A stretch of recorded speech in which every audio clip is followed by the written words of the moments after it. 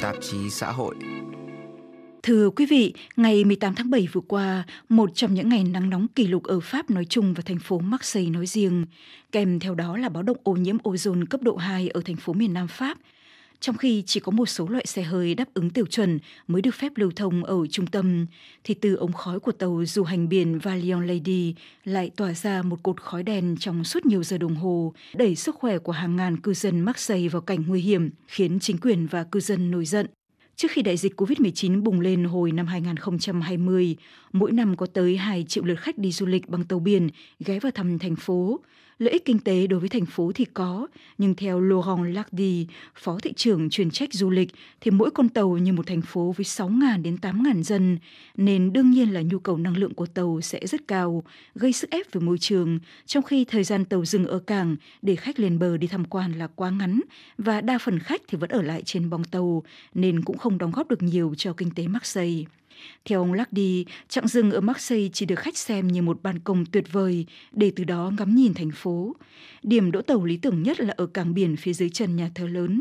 Từ nhiều năm nay, không ít cư dân than phiền rằng khói xả từ tàu sộc cả vào các căn hộ quanh đó. Tuy nhiên, Marseille không phải nơi đầu tiên và duy nhất cả ở Pháp và châu Âu phản đối các tàu du lịch biển. Trả lời đài RFI tiếng Việt ngày 12 tháng 7, ông Jacques Bonneman, phát ngôn viên Tổ chức Bảo vệ Môi trường Robin Desbois, hiệp sĩ rừng xanh cho biết. Ça a commencé en fait les protestations commençaient à Barcelone. Quả thực, sự phản đối khởi đầu ở Barcelona, Tây Ban Nha do có quá nhiều điểm dừng cho tàu, nạn ô nhiễm không khí tích tụ khi các con tàu neo ở cảng. Rồi sau đó, làn sóng phản đối lan sang vùng Địa Trung Hải, lan đến các thành phố Venice ở Ý, Marseille và Nice của Pháp, rồi ngày càng lan đến nhiều cảng, kể cả phía bờ Đại Tây Dương như thành phố Cherbourg hay Le Havre của Pháp, nơi có rất nhiều điểm dừng cho những con tàu khổng lồ, đặc biệt các chuyến ghé thăm các bãi đổ bộ lên bờ biển vùng Normandy. Gây ô nhiễm chính là lý do khiến các chuyến tàu du lịch biển bị nhiều tổ chức bảo vệ môi trường cũng như cư dân nhiều điểm đến du lịch phản đối dữ dội. Trên diễn đàn báo Le Monde, nhà xã hội học Alain Adrien Grenier năm 2019 cho biết chỉ riêng Carnival, một trong những công ty du lịch bằng tàu biển lớn nhất, hồi năm 2017 gây ô nhiễm không khí nhiều gấp 10 lần so với 260 triệu xe hơi được sử dụng tại châu Âu. Nhưng cụ thể, đâu là những mối nguy cho môi trường sinh thái mà các tàu du lịch biển gây ra? Phát ngôn viên Tổ chức Bảo vệ Môi trường Robin Desbois giải thích. Euh, euh, Các tàu du lịch ngày càng lớn hơn, chở ngày càng nhiều hành khách, cũng như thành viên thủy thủ đoàn và đã gây ra nhiều kiểu ô nhiễm. Trước hết là về nước thải sau khi tắm rửa, giặt đồ, vệ sinh. Đối với những con tàu đẹp nhất,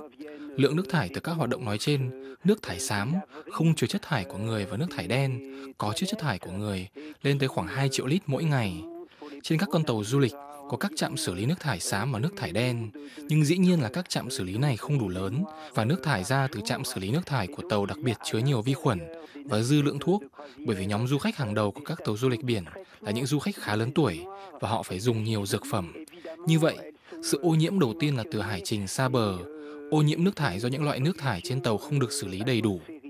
Ngoài ra, còn có một ô nhiễm khác đang bị các cư dân và các nhà bảo vệ môi trường chỉ trích, ô nhiễm không khí.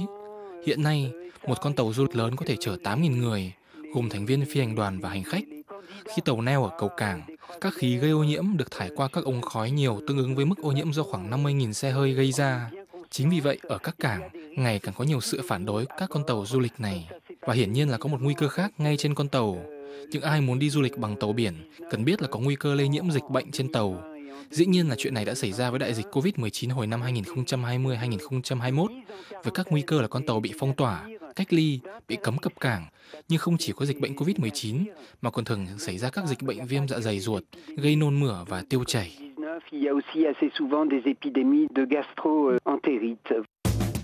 Quý thính giả đang theo dõi tạp chí xã hội những gã khổng lồ trên biển gây ấn tượng mạnh nhưng đồng thời cũng thật đáng sợ các tổ chức bảo vệ môi trường tố cáo cuộc đua thành khổng lồ của các hãng tàu du lịch không chỉ làm tăng nguy cơ xảy ra tai nạn, mà còn khiến ô nhiễm môi trường trở nên nghiêm trọng hơn.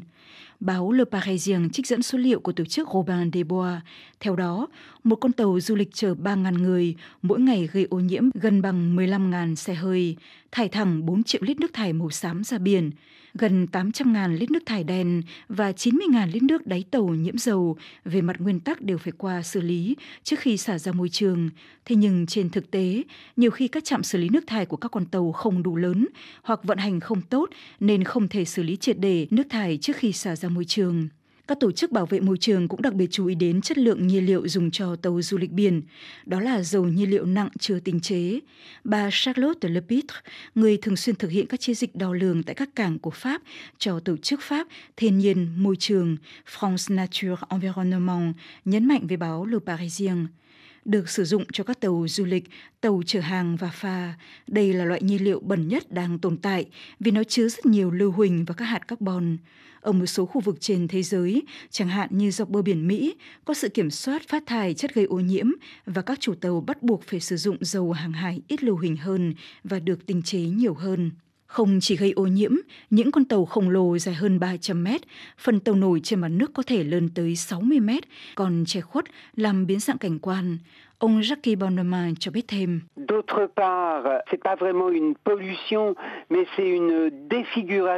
Mặt khác, những con tàu này to khổng lồ. Đây không thực sự là ô nhiễm, nhưng nó làm biến dạng cảnh quan. Bởi những con tàu này cao lừng lững, nổi trên mặt nước như những tòa nhà cao 20 tầng, dài tới 300 mét và chúng hoàn toàn che khuất cảnh quan. Chính điều này cũng dẫn đến rất nhiều sự phản đối từ cư dân địa phương. Ví dụ như ở Venice, hiện nay các tàu du lịch không còn được cập bờ nữa. Chúng buộc phải neo ngoài cảng và du khách được đưa vào đất liền trên một số con tàu chuyên chở nhỏ. Thêm vào đó, còn có vấn đề về nạo vét. Các tàu du lịch tìm cách cập bờ lên các hòn đảo, quần đảo vì chúng có mớn nước, tức là chiều cao của phần tàu chìm dưới nước thay đổi tùy theo tải trọng rất lớn nên các cảng phải thực hiện các hoạt động nạo vét, gây biến đổi dòng chảy tại các cảng ra vào biển và chúng làm rối loạn hoạt động của các ngư dân. Theo nghiên cứu của tổ chức phi chính phủ giao thông và môi trường, Venice của Ý là thành phố cảng bị ô nhiễm nặng thứ ba châu Âu do khí thải của các tàu du lịch biển. Chẳng hạn, hồi năm 2017, 68 con tàu du lịch lớn nhất thế giới đã ghé qua thành phố, thải xuống biển 27 tấn oxit lưu huỳnh, chất nổi tiếng gây axit hóa môi trường đất và nước. Mặc dù mỗi năm các chuyến tàu du lịch mang lại hơn 400 triệu đô la cho địa phương, nhưng để hạn chế tác động đối với môi trường, cảnh quan với sự đấu tranh của cư dân địa phương, các tổ chức bảo vệ môi trường và cả UNESCO, hồi tháng 7 năm 2021, chính phủ Ý cuối cùng đã ra lệnh cấm các con tàu du lịch cập bến Venice.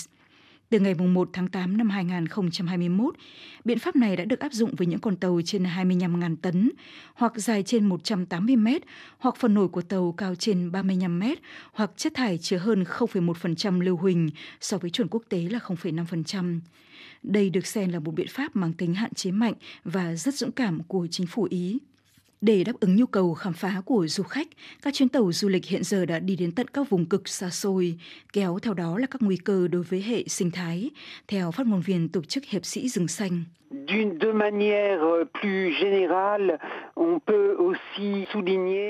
Nhìn rộng ra, có thể nói rằng ngày càng có nhiều tàu du lịch ở các vùng cực, cả Bắc Cực và Nam Cực. Tiếng ồn mà các con tàu du lịch này phát ra, nước thải từ tàu thoát ra làm xáo trộn hệ sinh thái của loài chim cánh cụt ở Nam Cực, cũng như đối với loài gấu Bắc Cực. Chính vì thế, các chuyến tàu du lịch cũng chịu nhiều lời chỉ trích từ các cư dân địa phương, đặc biệt là Bắc Cực, bởi vì hành khách rất đông và khi tàu cập bến, việc có quá đông du khách tạo ra một cú sốc văn hóa và người dân địa phương rất khó tiếp nhận, kể cả Bắc Cực và các quần đảo như Nouvelle-Calédonie. Sau nhiều tháng đại dịch COVID-19 khiến các tàu du lịch vắng bóng, sự trở lại của những gã khổng lồ trên biển với số du khách kỷ lục lại làm dấy lên mối lo ngại của các tổ chức bảo vệ môi trường và buộc các địa phương phải lưu tâm đến việc cân bằng lợi ích kinh tế và môi trường sinh thái.